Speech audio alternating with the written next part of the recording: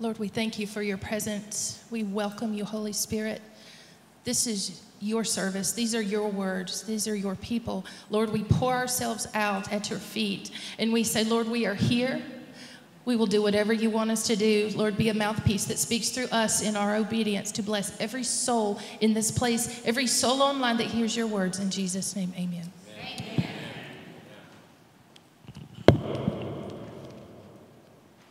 Thank you, Andrea. So, as I said, we are going to be talking about trauma today. And so, first, I wanted to just define what that is we're talking about and then kind of give you a little bit of an overview of where we're going to go with this.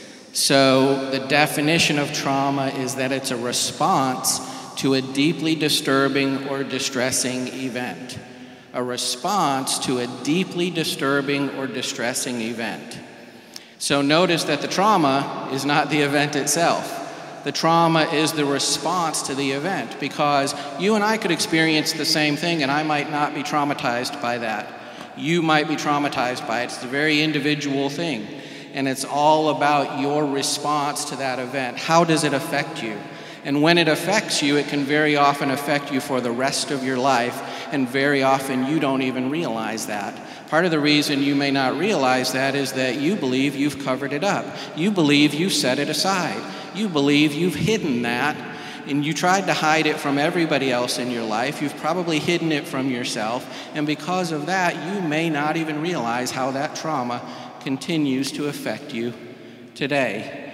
And so that's what we're talking about. We may not hear about trauma frequently in churches. Somebody said to me this morning, this isn't something we often talk about in church, which is a bit of a shame because many of you have very likely experienced trauma in your life, true trauma.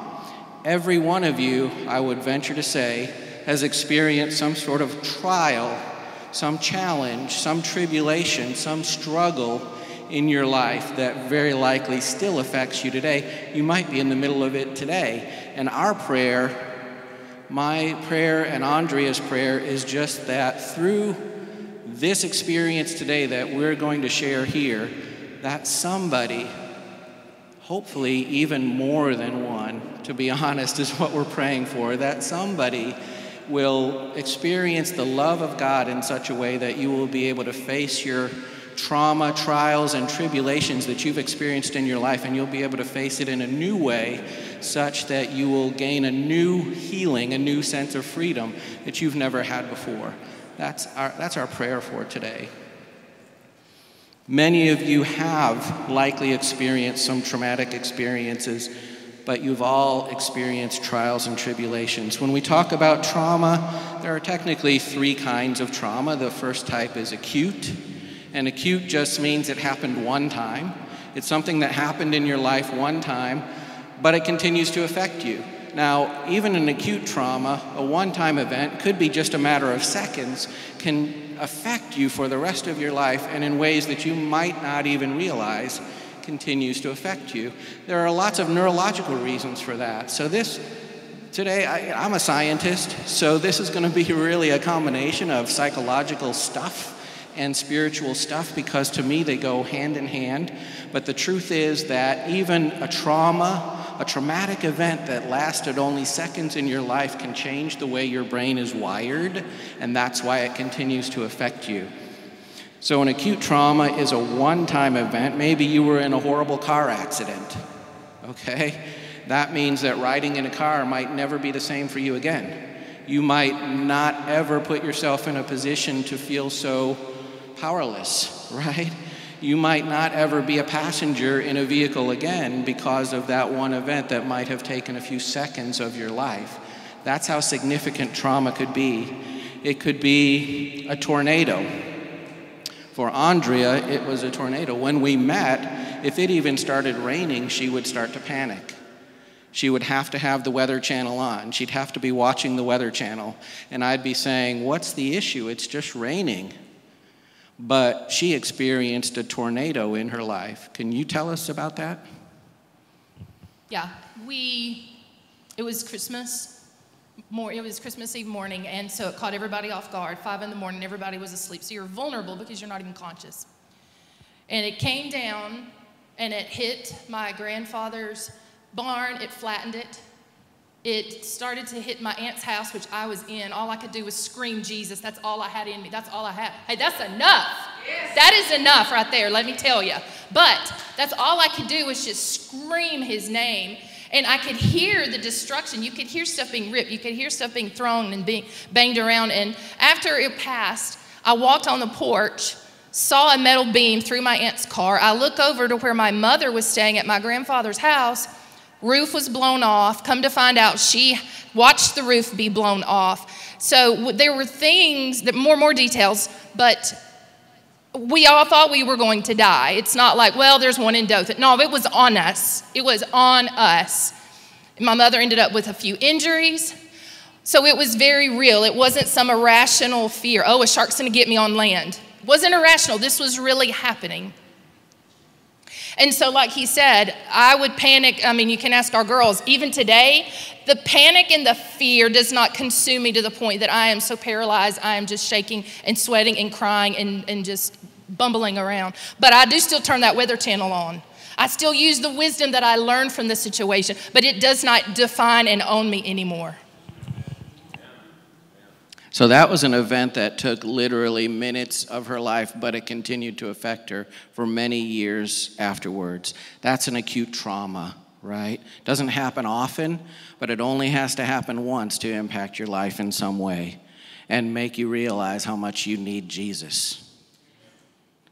The other kind of trauma is called chronic trauma. That's when, when we have a long term response from prolonged or repeated events of the same type. So if I experienced bullying growing up, right? It's the same type, but it's repeated. It wasn't just one event, it was repeated events of bullying, maybe repeated abuse in the home.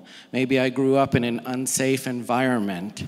So I'm traumatized from a long term, repeated event that has happened numerous times in my life. That's called chronic trauma. And then there's complex trauma. Most of my patients have experienced complex trauma, which just means multiple traumatic experiences have happened in their lives. Multiple abuses or other experiences, such as being in combat. When I do an assessment of post traumatic stress disorder in my patients, I have to ask them, Well, what stood out to you about combat? And very often they say, Just being in combat because every day was a new traumatic event. Every moment of being there was a life threatening experience. So there may not be one that stood out. It was complex trauma, it was the whole experience that might have lasted a year or more. It changes you. We can't compare our traumas, though right? So you could say, well, someone's been in combat, they had bullets, right, shooting, uh, you know, alongside their head. That's that's nothing like what I experienced as a child, maybe being abused. We can't compare our traumas because the, the important thing about the trauma is that remember, it's not the event itself, it's the effect on you, right? Only you know how that affected you. And that's all that matters. You can't look around to other people and somehow judge your trauma as being less significant. It's significant because it impacts your life.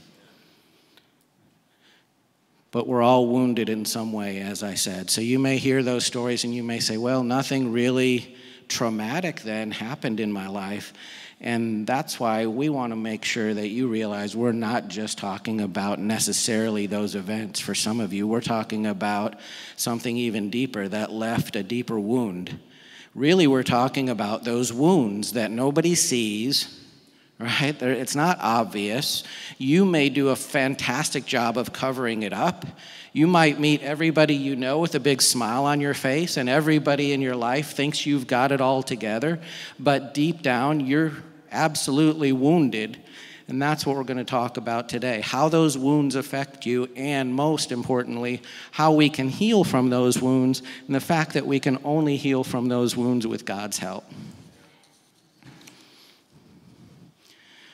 So, in talking about this today, we've come up with three P's that can access God's healing power. Very often, when a friend is suffering, especially if it's somebody here in the church, some well meaning person in an attempt to help them, we'll throw out their Romans 8:28, right? And we know that in all things God works for the good of those who love him and who have been called according to his purpose. So we might throw that out there as an attempt to try to help them through it, right? Hey, I'm really struggling. I'm really hurt. I'm really I'm really feeling damaged. I'm really anxious. I'm very depressed. Oh, well, you know, we know that in all things God works for the good. That's maybe not going to be so helpful, right? It's well meaning. We're doing what we can. Not only that, it's absolutely truth, it's scripture, it's Bible, right? It's a powerful, life changing truth, but it may not feel helpful when you're still reeling because of what happened, when you're overwhelmed with anxiety, when you feel numb, ashamed, guilty. So today we walk into this prayerfully and we describe a three part process, a process to get to the point that Romans 8:28 really means something to you, that you're really able to take that in and soothe your soul with the knowledge that God will turn all things for good in your life if you give Him that opportunity. All right? So, in this three part process, the first part is to process your pain. Process your pain. That means face it, it means work through it. And in order to process it, we need to first acknowledge that it's there. So, some of you might still be saying, Well, I'm not so sure, and that's okay. It may take you a while to really recognize and acknowledge that it's even there, that it's operating in your life, that it's affecting you on a moment to moment basis, that it affects your relationships, it affects how you deal with the stresses and, and difficulties and challenges that come up in your life. You may not be aware of it. So, the first thing is to just recognize that it's there. For some of you, something has already popped to mind right off the bat. You said, Yep, that certainly was traumatic for me but I shoved it under the rug because that's what we do, right? It's a natural human response. It's painful. We don't want to think about it, we don't want to focus on it, so we try to cover it up. It makes perfect sense, but the problem is that it's still there and it doesn't get any better. And we're going to talk more about that today. The second thing we're going to talk about is prayerfully taking it to God because that's the most important part of this process. Once I recognize that it's there, I acknowledge it. Once I process it, I'm able to think about it and share about it, maybe talk about it with other believers. Once I can really process it, then I need to take it prayerfully to God. In 2 Corinthians 12 8, it says that Paul three times I took it to God and prayed and pleaded for help. That's Paul. Now, the Bible scholars believe that when he says three times, he's not saying, I prayed three times about this major trauma in my life. He's saying through three seasons of ongoing prayer. Right? So, in other words, we may need to keep coming to God. When I say prayerfully take it to God, I'm not talking about one time.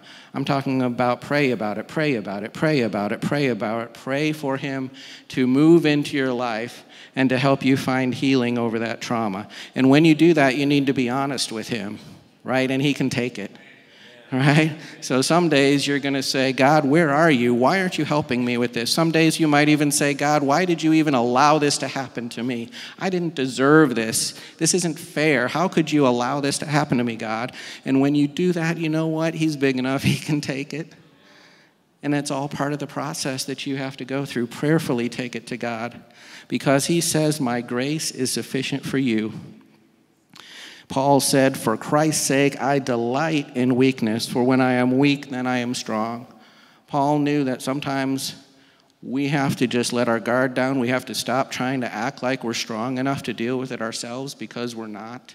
And that's such an important moment in our lives when we realize, Lord, I can't do this. I can't do this, but with you, all things are possible, and I need you to, to join me in this battle.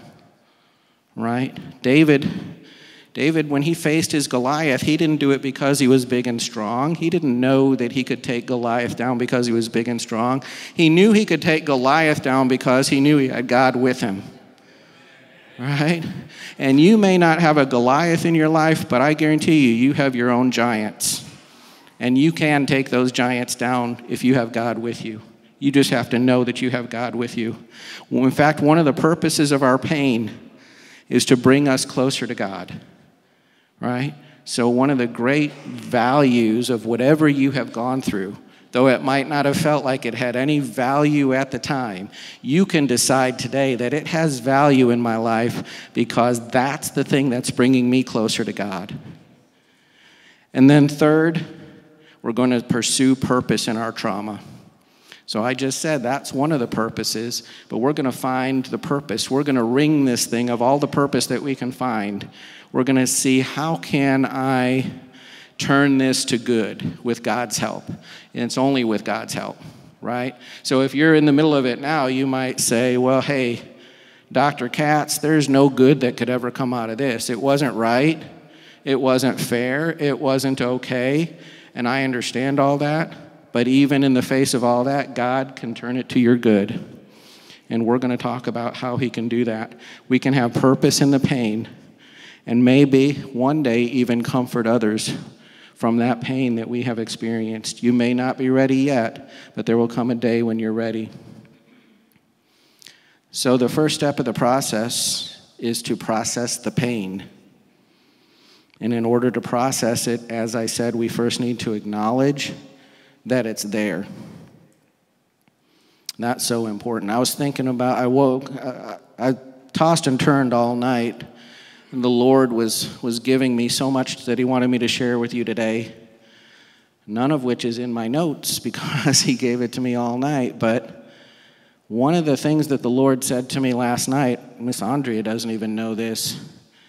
He said, There's a room in the house that's got a locked door. There's a room in the house that's got a locked door. And I said, That's exactly what I'm talking about today. That's exactly it. Because your life is a house, right? You want to invite God into your house, but your house has a room with a locked door, doesn't it? That's where you put that trauma.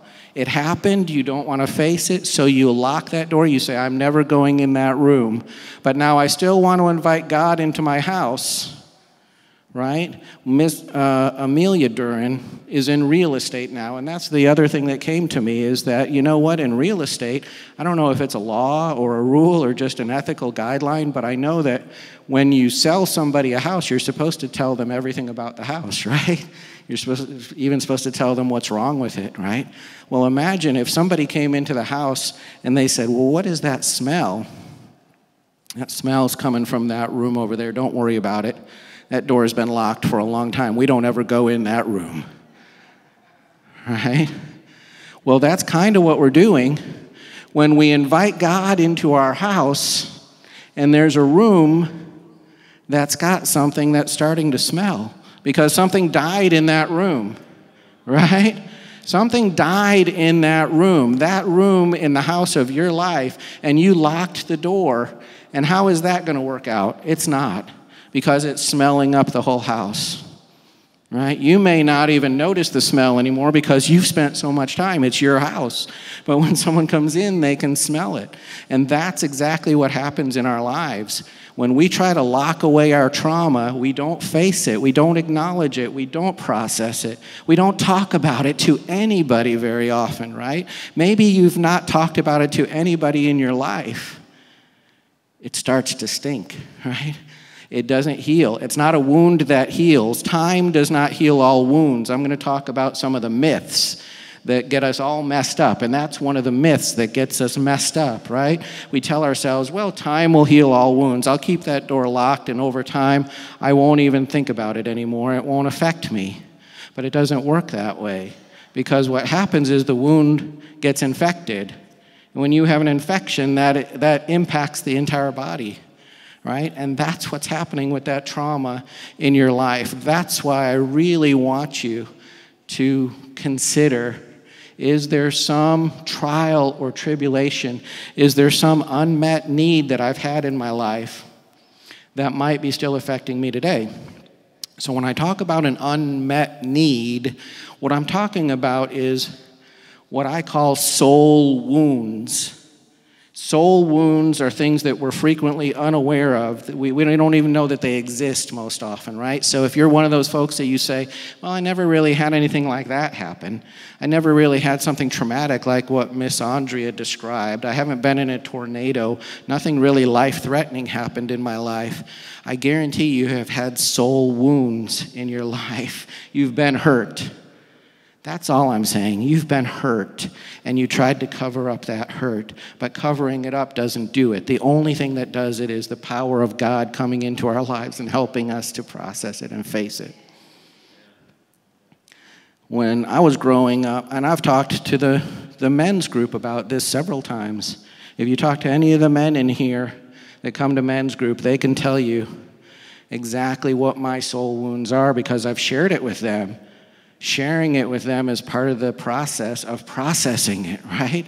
I could have recognized it and just kept it to myself, and what I would be doing is still shoving it under the rug. But I didn't. I took the risk, I took the chance, I stepped outside of the boat like Peter did, and I shared with them about my soul wounds. And what I told them was look, I couldn't get any praise or recognition when I was growing up. I love my parents dearly. They're both passed now. They were great parents. They certainly did the best they could. They were not abusive. We were not um, neglected in any way. But I could not get any praise or recognition for whatever reason, whatever intergenerational, cross generational reason. They had decided that it didn't matter what I could come to them with. Hey, I got straight A's. Hey, I got this award, that award nothing. I would not get praise or recognition from either of my parents. And I needed that. And so you might say, well, that's no big deal. And maybe it would have been no big deal, except that what happens is the enemy takes advantage of those moments.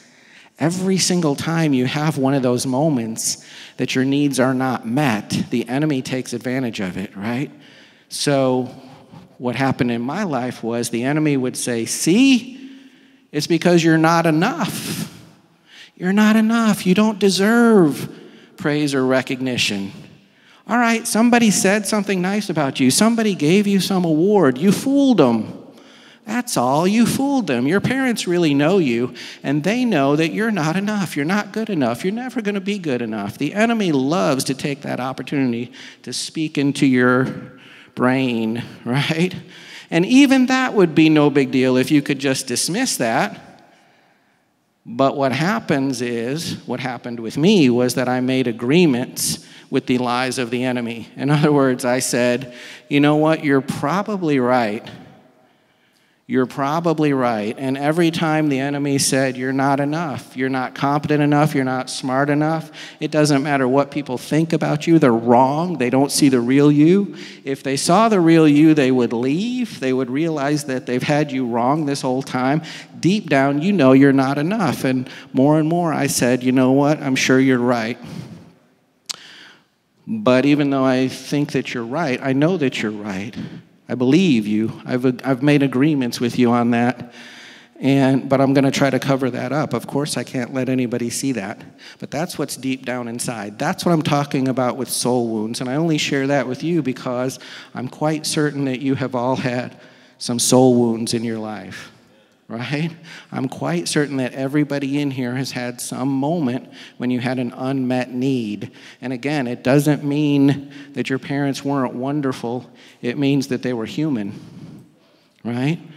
So that time that you reached for an embrace from your dad, but he was distracted and he turned away.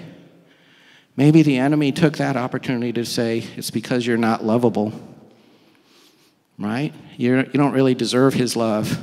You don't really deserve love at all.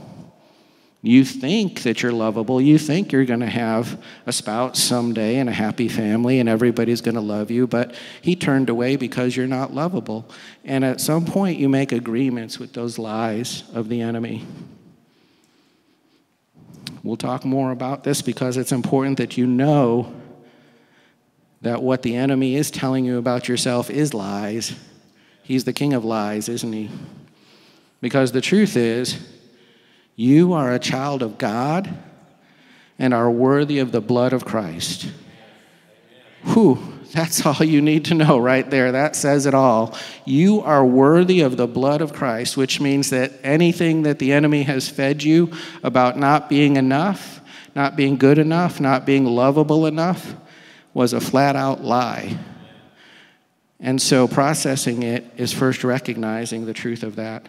Sometimes we can try to cover up our past pain with that which we can control because that all fell outside our control. So we try to say, okay, well, hey, if deep down I know I'm not good enough, then what I'm going to make sure I do is control everything I do, try to be better than everybody, better than I ever could, better than anybody could expect. And maybe that will cover up that deep down pain, right? So we try to control achievement, performance, productivity. We try to just show the world that we're good enough because deep down we don't feel like we are we still believe we're damaged. At some point, those coping mechanisms cannot mask the hurt we're feeling deep inside anymore. Once we recognize it and admit it to ourselves, God will place others in our lives to process it with. Because you know what? We don't heal in isolation. So when I say process it, I'm including sharing it with other people. When I shared that with the men's group, and I continue to share it with the men's group, healing is coming from that. And I know that it's because God placed those men in my life.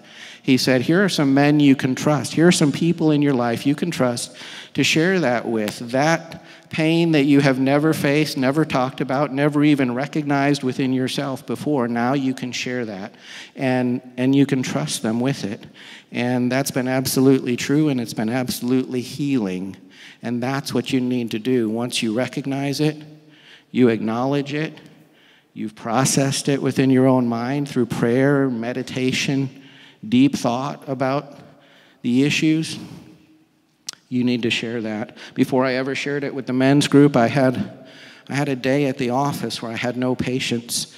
And I actually spent the day just meditating on my childhood just praying about my childhood, just asking God, what was it? Where did I get these screwed up ideas? What, what allowed the enemy to come into my life with these lies that I made agreements with? And in that day, he showed me scenes that I thought I, I had no memory of. They were from 50, 55 years ago, sometimes in my life, things that I had no memory of until that moment. And he showed me those scenes, and, and it was like he was saying, See, remember when that happened? That was one of the moments that the enemy came in and said, See, you're not deserving.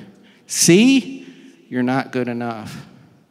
And so, if you're sitting there saying, Well, I'm not really sure about my own soul wounds, I would encourage you to spend some time in meditation and in prayer and just ask the Lord to show you where did these lies come into my life? Because once you can see where they came in, it gives you some sense of control over them. And, and it makes it easier for you to share them with other people. This has become a big part of your story, so it's a part of your story that you need to become familiar with, right? We're all living a life where we're just telling a story. We have Act 1, we have Act 2, and I'm here to tell you that no matter what happened in Act 1 and Act 2, you're writing your story, and you can start writing Act 3 today. And today you can say, I'm no longer going to be held back or limited or affected in any negative way by whatever has happened in Act 1 and Act 2. But if I'm going to get to the point in Act 3 that I'm going to turn this thing around and make a happy ending for myself in this story, I'm going to need God's help to do that. I'm going to need God to help me write the rest of this story. So that's why it's important to face your soul wounds moving forward. Any, anything to add on that? Okay, thank you. I'm not really the talker in this marriage, believe it or not. I'm just talking a lot today. But I so appreciate my wonderful wife for allowing me to do that. Those of you that know her know that she is a powerful woman of God, a powerful prayer warrior.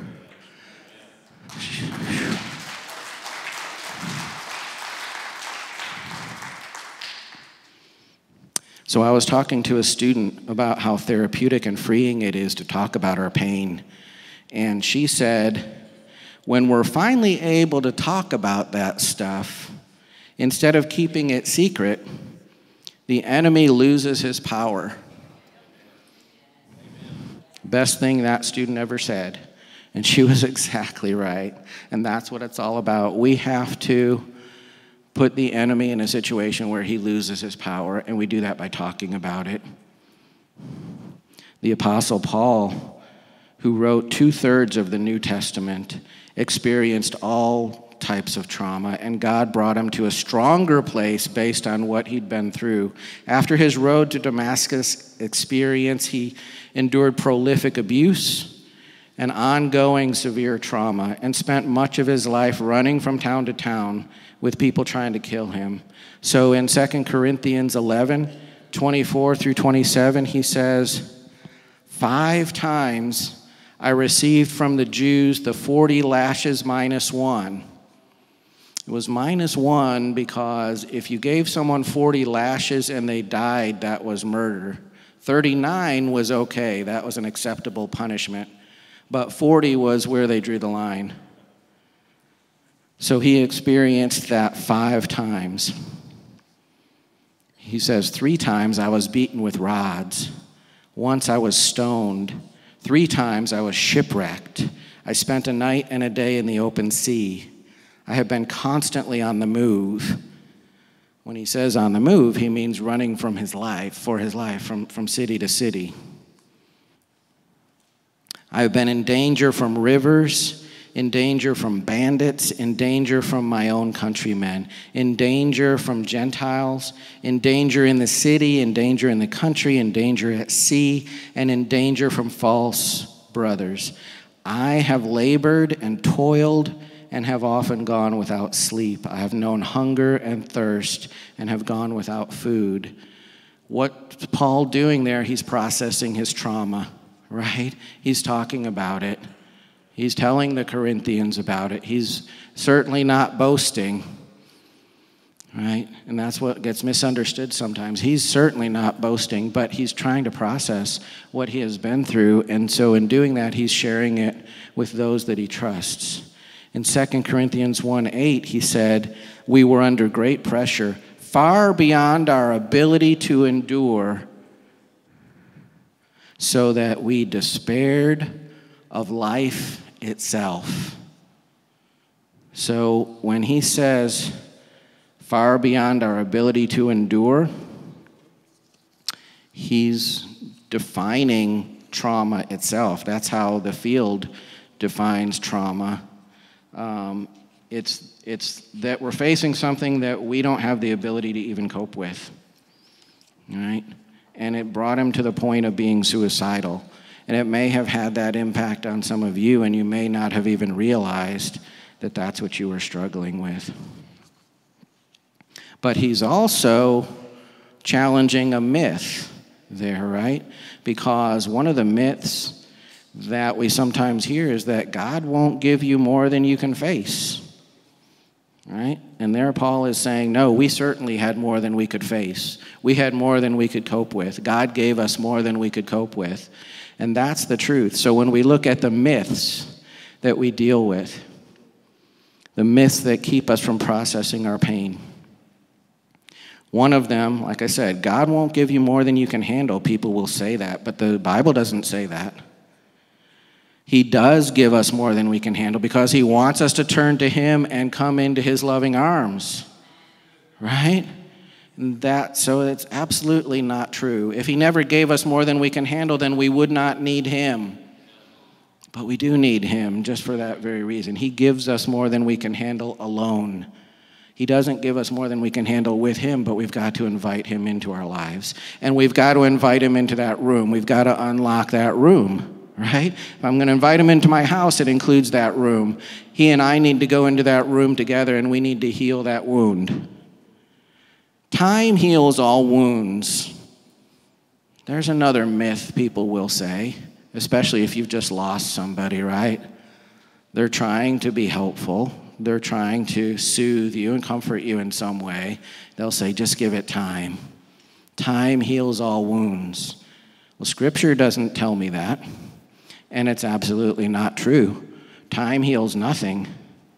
And in fact, the more time that passes without a wound receiving any attention, the more likely it is to become infected. And when it's a core wound, a heart wound, it then infects everything that we do, every decision we make, everything that we are. And third, many people have traumas worse than mine, so I should just move on. Well, as I've already said, we can't compare traumas. I hear that from veterans that have been in combat. Yeah, I was in combat, but I know of some other veteran friends of mine that had it even worse than I do. That's why it took me so long to come for help. No, we cannot compare traumas. We just seek God for healing from it. Because I don't heal by looking around at others, I heal by looking inward.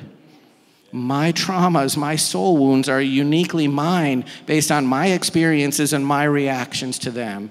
They are a part of my story, and it's a story that only I can write with God's loving guidance. And my battle is with the powers of this dark world, right? That's what Ephesians 6 12 and 18 comes tells us we're not battling with each other we're battling with the powers of this dark world we're battling with the lies of the enemy. He comes to lie, steal, and destroy. And when we refuse to face the lies that he has planted in our minds, when we try to shove them under the rug, we try to lock them in that room, we're allowing him to get away with that. We're allowing him to steal and kill and destroy from us. We can't do that anymore because when my needs were not met in my life, the enemy told me things and I made agreements with those things. I said, maybe you're right. I said, maybe I am unworthy of love. That might ring a bell for some of you. Maybe you said, I'm not enough. I'm broken, bad, or flawed. I'm not really competent, so I don't deserve respect. If people really knew me, they'd leave me lies, lies that we might have made agreements with.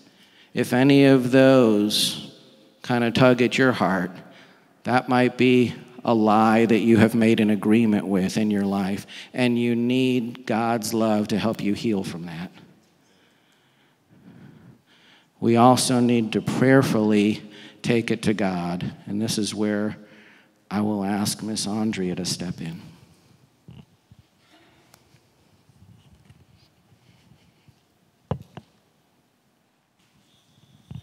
Some people have asked, why should I pray now that the drama has happened? Now that the trauma, the trial, the challenge, now that it's happened, what's the point? God didn't show up, He didn't prevent it. So why pray? I'll be dealing with it for the rest of my life. There's nothing you can do, there's nothing you can say. God's not going to do anything. He already hasn't done anything. Why would He start now? No. I refuse to believe that. You cannot tell me the God that created you cannot come in and take what the enemy has stolen and he cannot restore it to the way it was originally created. I refuse to believe that. I've seen it in my life, I have seen it in my family's life, and I'm telling you right now if you believe it, you're believing a lie. And you deserve to be told the truth. You don't have to believe it. You can choose to stand on the truth, which is the Word of God. Listen to what Jesus said in Matthew 19 26. With men, it is impossible, but with God, all things are possible. Do you believe in God? You're here. Are you a Christian? Do you believe in Him? Then why don't you believe this? It's as easy as believing it. It's not easy going through it. It's not easy identifying it. It's not easy looking into the face and saying, I'm fixing to walk through it. I need help. I need prayer. But I'm going to look at it and I'm going to address it because I will not live the rest of my life bound up by something that the enemy wants to take me down with. I don't have to do it and I'm not going to do it. It is your choice, it becomes on you. Why are you putting up with it? You don't have to. He just told us that we don't have to do it. So you prayerfully take it to God. If you think having uncomfortable conversations about it are hard, wait until you don't have the conversations and see what happens. You know what happens? Avoidance, distraction, denial, excuses, shame, guilt, regret, depression, blame, and repression. Where you push it down and you think it's gonna go away, but it doesn't. And everybody in here knows that it doesn't. It comes up in nightmares, it comes up in conversation. There are triggers in a movie, it's everywhere. You cannot escape it. There's no escape except for Him. You'll see the scripture in red. This is my life verse. This is the anchor that God gave me a couple of years ago when our family was going some, through something hellacious. Psalm 16:8 I keep my eyes always on the Lord with him at my right hand I will not be shaken. That might not sound like much to you, but what that is is faith. I choose to trust God in the middle of the junk. When my husband collapsed in January in the emergency room, they start calling code blue. The Holy Spirit Himself started moving. I didn't start crying. I did not get emotional. I didn't scream for help. The Lord literally lifted me up out of that chair and I said, In the name of Jesus, Satan, you cannot have my husband's life. I know that was God. That was not me. My norm is to kind of flip out and start screaming. That's not pretty, but it is what it is. That's another thing you need to be honest. It's all right. God already knows the ugly inside of you, He wants to take it out. Who would want to hold on to that? So when you admit what's going on and you choose to take a stand, because he says, With him at my right hand, I will not be shaken. If he's right here, what do you have to lose? Zip, zero, nothing. You have nothing to lose. He is the strength. He is going to empower you. He is the. Do you know what Jesus means? The name Jesus means God saves. It's not just your salvation, He will save you from the trauma, He will deliver you from the sickness. You don't have to be bound up in it. You have to just make a decision. As much as this stinks, as much as I don't want to do it, I'm going to do it anyway because with God all things are possible. I can do all things through Christ who strengthens me. I am more than a conqueror through Christ Jesus. You have to lean into your sword, which is the Bible. This is what I stand on. I don't care who likes it, I don't care who disagrees with it. This is where I get my strength. You think I'm bold? I'm not bold. I believe what I read in this word. It's that simple. And it is available to every one of you if you will pick it up and devour it. The most important conversation that you can ever have is prayer. Why? Why? Because when you speak, He listens. When you pray, He moves. When you praise in the middle of it, He wars on your behalf. That's what happened in the emergency room. There was nothing to praise God about. We didn't know if Larry was fixing to die. But we chose, me and Reagan both were laying hands on Larry, and we believed that God could touch him. And here he is. But you can't give up. Don't give up. He will give you victory if you do not give up. James 4 8 says, Draw near to God and he will draw near to you. You speak, he listens. Do you see that? You, you move first. You ask, you seek, you knock. He will move if you move first. He has the ability to, but he wants participation. He wants interaction. He wants a relationship with us. This isn't just one sided. He didn't create dummies, he didn't create robots. He wants a relationship with us. And he finds you worthy. He wouldn't have come if he didn't, but he did. Regardless of how I think, what I feel, I will not bow, I will not bend my knee, I will not break, and I will not be shaken under pressure.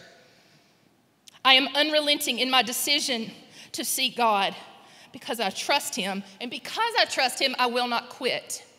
That, again, I want to reiterate to you, that doesn't mean it's easy. It doesn't mean that any of this stuff is going to be easy. It just means with the Creator's strength, with the all powerful God, there is strength that surpasses anything you have to offer. And when you have that backing you up, you will be able to succeed. Nothing can change your past, nothing can change what happened, but we sing about him, Jehovah Rapha. That means the Lord our healer.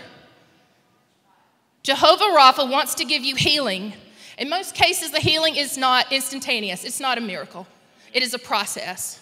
That's something that stinks, especially in our culture where we want the instant gratification. But you need to know that that's why He gives us fruit of the Spirit perseverance. That's why he helps us because he knows that it's going to take patience, it's going to build faith, it's going to produce joy in the end. And let me give you an example. John 11, 21 and 22. Martha said to Jesus, Lord, if you had been here, my brother Lazarus would not have died. But I know that even now, whew, I know that even now, with him dead for four days, God will give you anything that you ask. See, Martha and Mary had already sent word to Jesus that Lazarus was sick, and Jesus did not come until he had been dead for four days.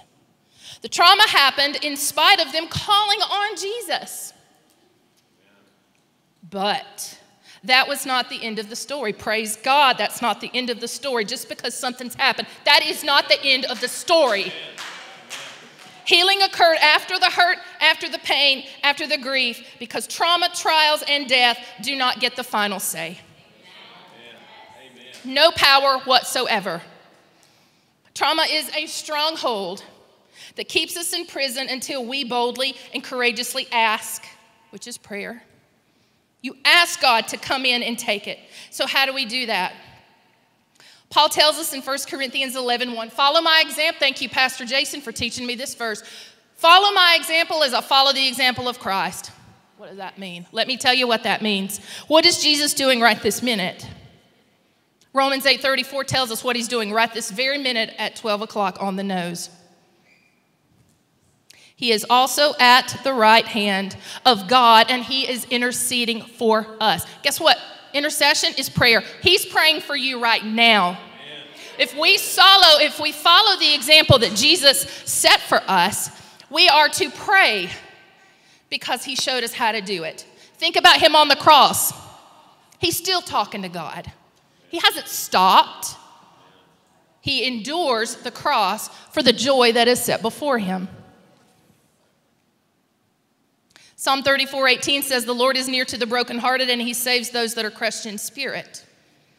He is omnipresent, which means he is everywhere at the same time and he does not leave us. He does not plan to leave us. Get used to it. He's got a parking spot with his name on it. He's not going anywhere. You do not ever have to feel forsaken. It doesn't matter if a human being affirms you or not, it ain't about a human being. They are not your source of supply. They are not your comforter. Only God can fill those shoes. Psalm 18:2 says, "The Lord is my rock and my fortress; he is my deliverer, my God, my rock, in whom I take refuge, my shield and the horn or strength of my salvation, my stronghold." That is, the, that is God's name, Jehovah Nissi, which means he fights for you. He is your deliverer. You can put faith in God, whereas you may or may not can put trust in human beings. A lot of times we equate God with humans, but you cannot equate the creator with the creation. He is not on the same par as we are. That is where the enemy comes in and dements the way that we think. And he will, your, your, your family doesn't care, God doesn't care. No, that's not true at all. He is above everything. James 1 6 says, But let him ask in faith without doubting. For the doubter is like the surging sea, driven and tossed by the wind. When the enemy is pushing his very hardest, you're at a crossroads and you must make a choice. You can give up and resign yourself that this is how it's going to be. I'm just going to have to deal with it and find some coping mechanisms. There's no hope. There's no way out. This is just, this is me. Or you can stand your ground and refuse to be moved, which is my scripture again in the red. I refuse to move. Why? Because you know that standing in a position of faith is where God wants you to be so that when you're out of the way, standing and watching, He can move. Think about Moses with the Red Sea. God told him to lift the staff and watch. Behold his mighty hand. Look what God did. Moses couldn't do, neither could us. Nobody can do anything with that water, and God parted it. Because Moses stood in faith and he chose. He chose he made a decision to believe God. Same applies to us. Do you choose God or do you not? I understand that this may be a little pointed, but all I can tell you is this is what the Holy Spirit gave me. And it doesn't just apply to you, I get to deal with it too. But it becomes do you want it or not? Do you want freedom? Do you not? Get in your prayer closet. Cry the ugly tears, get out the tissues, get your journal, whatever you need to do, and just lean on the Lord because He is an ever present help in time of trouble. Ever present, and He never leaves. His words are true, and He is not going to back off. You want to, he wants you to persevere, but he also perseveres. He is that's why they call him faithful and true. He is faithful. He does not relent. He does not give up what is his, which is you and I.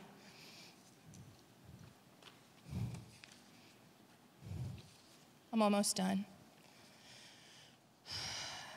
Regarding difficult situations where you feel trapped or you've struggled for a long time and you feel hopeless, you have to take a bold stance of faith and stand still. You have to take it and say, no matter what comes, I choose you, Lord. I'm going to just make a choice. Larry could have died that day in the emergency room. I'm very well aware of that. And I told the Lord, I said, if this is your time, if this is how you're going to take him, I will somehow, some way need y'all's help and prayers, but I will somehow, some way get through this. But if it is not, I take it back in the name of Jesus. I'm not going to just stand here and watch the enemy come into my house and steal something that is not his. I will not be shaken.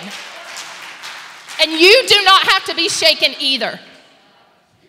You do not have to be shaken. Make a decision that you are not going to give any more leeway to the enemy. You are going to hand it over and say, God, I need you to take it. Will you help me? And his answer is yes, I'm already there.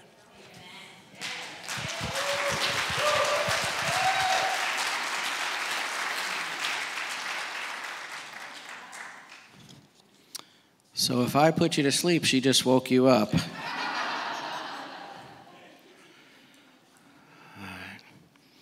So um, I got a, uh, a video clip from a friend this week, m- messaged it to me, and in this video clip, it was an interesting situation that was being faced. It was two lawyers. They were in I know that makes it sound like I'm setting up for a joke, right? But this is not, definitely not a joke. But they were, they were, it was a, it was a lawyer speaking, and he had been um, in Alaska tr- working on a case, and he had a flight to Anchorage on his way back to the states, but he was approached by a pastor actually who said, "Hey, I've got a private plane. Why don't you get your money back on your ticket and fly with us on this private plane?" And against his better judgment, he agreed. So both, so he sits on the right side of the plane, and the other lawyer sits in the back, his, his buddy. And they get up into the clouds, and the pilot actually passes out. Again, I'm sure this sounds like a joke, but I'm, I'm assuring you this is not a joke. This was a real event that this individual was describing. And so the pilot passes out. Both of them know they have no idea how to fly a plane. Um, so the, the individual that's the speaker, he says, Well, I saw that there was a radio, so I handed a microphone to uh, my buddy behind me, and, and I said, Just start asking for help. So he starts saying, Hello, hello, hello, because they didn't know anything about radio um, etiquette or anything. They were just saying hello. And, and somebody picked up and said, and they told them the situation. We're in this plane. We have no idea how to fly it. We can't even see. We're in the clouds and, uh, and what do we do? And the guy said, I'm going to transfer you to Alaska Emergency, and, um, and they may be able to help you. So finally, a few minutes later, Alaska Emergency comes on the radio, and the individual says, I'm, I can talk you through this. You're, you're about four minutes from a mountain that you're about to crash into. He said, because even though you can't see me, I can see you. You can't see me, but I can see you. So if you will just listen to my voice, I'm going to be able to get you home. You can't listen to the other voices in your head. You can't focus on the storm. You're heading into a storm as well, and I'm going to get you through that storm, but only if you don't focus on that storm. I need you to focus on nothing but my voice. Obey my voice, and I will get you home. And they did. And as they start approaching Alaska, he got around the mountain, he got through the storm, and they start approaching Alaska, they start approaching Anchorage, and he says, Okay, you're coming close to the airport now. The way you'll know where to land is there are lights that are in the shape of a cross. At the, at the Anchorage airport, there are lights in the shape of a cross, and that's where you need to land. If you land at the foot of the cross, you will live.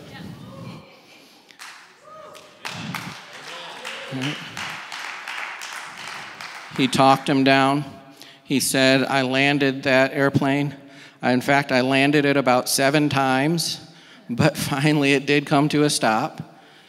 And he lived, and the, and the voice said, Thank you for listening to my voice. He said, So many times people do not listen to my voice, they listen to the other voices in their heads. They focus on the storm, and I lose them. Thank you for just listening to my voice. It's, it just reminds me so much of Peter getting out of that boat, right? God didn't say that He made human beings to be able to walk on water, but Jesus said, if you will just stay focused on me, you are going to walk on water. And He did until He took His eyes off of Jesus. And Jesus said, Ye of little faith, why did you take your eyes off me? Why did you stop believing? And Jesus is saying that to us too. Hey, I, I can have you walking on water. I can get you through this storm if you will just listen to my voice. Stop listening to those other voices in your head. I came across the story of Dr. Ellie Stevens in preparing for this message. Dr. Ellie Stevens is a psychiatrist who experienced multiple traumatic experiences in her life, from unspeakable abuses to a fall from a cliff and head injury that left her unable to function for many months. Here on this slide, she describes how she turned to God for his healing power in her life. She said, There were several points at which I felt him comfort me, and I felt his love at a deeper level than I've ever felt before. At one point, I heard him say, Why are you blocking my love? Why are you blocking my love? And I just started bawling because I was blocking him out. I was blocking his love. I was the one keeping distance because of my shame and doubt, thinking, I don't deserve this. But that's the point of grace. She said the first step was acknowledging and asking for it because if we seek, we'll find. Like Miss Andrea said, step nearer to me and I will step nearer to you. If we seek, we'll find. It's up to us first, right? We have to take those first steps. We have to come closer to God. We have to ask Him into our house and we have to tell Him about that room and ask Him to come into the room with us to resolve the issue there. We have to ask, but if we ask, we will receive. In my journey, there were times I said, I can't hold on, but I kept going and He came through. And John 15, 7 supports her experience. It says, If you abide in me and my words abide in you, right? If you'll just listen to my voice, just listen to my voice. Just obey my voice, not the storm, not the other voices in your head. If you abide in me and my words abide in you, ask for what you desire and it will be done for you.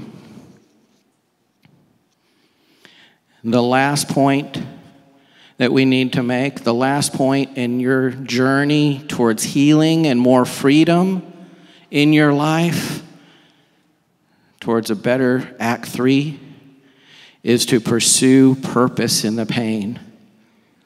After years of prayer and faith, Dr. Stevens was finally able to say, Help me to use this trauma for your glory and not waste it.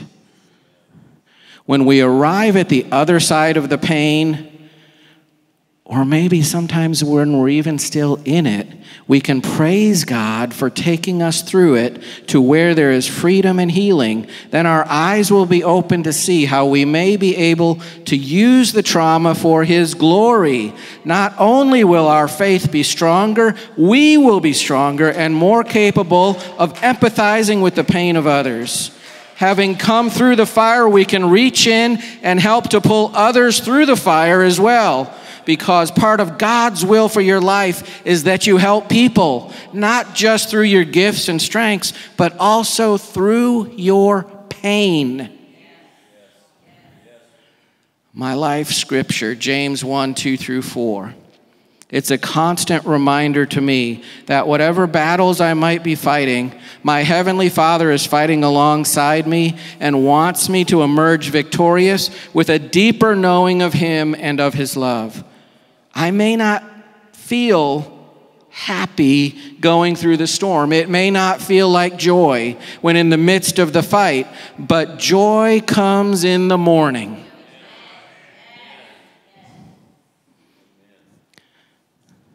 Purposes of pain. Pain is an opportunity for you to see how strong you are, and in Christ you're stronger than you think, and there's joy in that. Pain builds your endurance, allowing you to persevere through life's trials. Pain matures you, and maturity helps you see the world differently. Pain teaches you what, a, what pleasure never could. Completeness is a deeper understanding of life and how to navigate its challenges. It gives you everything you need so that, not lacking anything, you turn to God in humility and surrender, and in Him you discover hope. And pain connects us with others. And this world needs connectedness today more than ever. I looked up statistics this week and found that our suicide rate today in the United States is higher than it's been in 80 years. Now, you may have your own thoughts on why that may be, but to me, it comes down to connectedness. We're not connected, we're not sharing our lives with each other, we're isolated, we're divisive, we're distant, we're canceling. We're canceling people instead of loving people and embracing people. We need that connectedness in this world. And pain connects us. Pain connects us like nothing else will because we all have it. Isaiah 8:58 For my thoughts are not your thoughts and my ways are not your ways. So we may not understand why we had to go through our trials. I get that. But we still need to have faith and know that He is Lord and that He wants us to live life more abundantly. I know this can be really difficult when you're in the midst of the struggle, right? When you're in the battle, it can be hard to see, as I said earlier, that anything good can come out of this. And in our own humanly ways, nothing probably could, but in God, all things are possible and He wants the best for you. So, we've given you three P's in your process towards healing and greater freedom healing from trauma, healing from trials, healing from those wounds that you've carried with you your whole life. We've talked about process the pain. We've talked about prayerfully taking it to God and we've talked about pursuing a purpose in that pain. I want to add one more P to that. I'm interrupting you. If that is that okay? Yes. Okay. I want to add one more P to this list, and it's praise in the storm. I will praise specifically in the storm, in the trauma, or in the pain, because God wants us to stay in permanent positions of praise. Why? Because it confounds the enemy. It doesn't make any sense when you praise God when everything sucks. It doesn't. So do it anyway. Amen. Worship team, can we get you to go ahead and come up here as we're closing? Thank you. And you remember that when I started speaking, I talked about Romans 8:28 as something that people can just throw out there to try to comfort you through your pain, right? Well, what is our hope in pain? It's the promise of God that He can bring good out of anything, even pain, if we trust Him. Circling back to Romans 8:28 then to know that in all things that includes our traumas, our trials and our tribulations, God works for the good, for the good of those who love him. And that's truth. And that truth will set you free. But this is not a trite platitude to quickly make someone feel better about the struggle. It's a treasure to be arrived at eventually through our journey, through our processing and sharing, through our prayer and asking and pleading and inviting, and through our pursuit of purpose in our pain, finding ways of coping and using it for the benefit of others, for that connection to other people. And again, our prayer is just that some of this meant something to somebody, and that because this meant something to you, you will invite God into your house and into that room, and you will finally face that wound that you've been afraid to face.